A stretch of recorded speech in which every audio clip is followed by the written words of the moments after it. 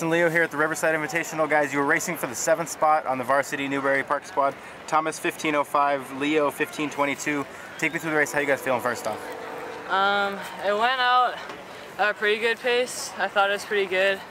But um, towards the second mile, it kind of hit me a little bit. But um, I knew just to keep going. I knew that workouts would back me up to the end of the race.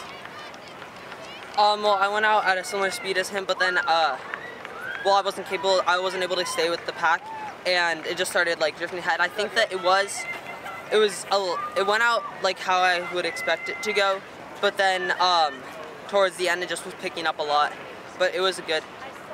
Leo, this is your first time here. Thomas, you've been here a couple times, right? Yes, this is my second time, or third time, I guess you could say here. So, Leo, what did, what did you, how did you prep for this race? Did you take tips from your brother or anything? Um, yeah, I, I was talking to him a lot about like what how to prep, and I've just been like trying to make sure that I was in the peak physical shape for this week. But yeah. Both of you, take us through how challenging it is to make that varsity Newbury Park squad. Obviously, you guys are racing for it. Tough race here today. Honestly, it, it's very difficult. Like my coach always says, um, we're a nationally ranked team, and uh, he always says like our seventh man could be on the varsity team at any other school in the country. And that's what just makes it hard here.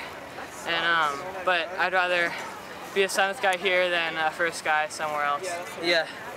There's a lot since uh, the team is so good. Like I've seen it since Nico was here as a freshman, and just like gradually, like when he was a freshman, the time that he run, ran as a freshman, to put him on varsity, you could you barely make the B team now.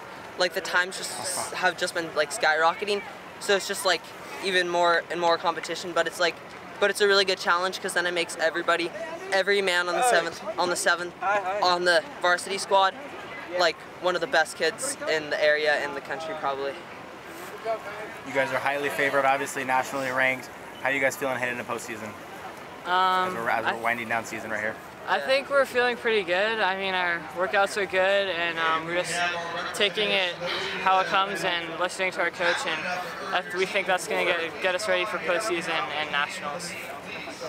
Yeah, I agree. I think that as long as we do everything our coach says and make sure that we are paying attention to our diet and everything, I think that we definitely have.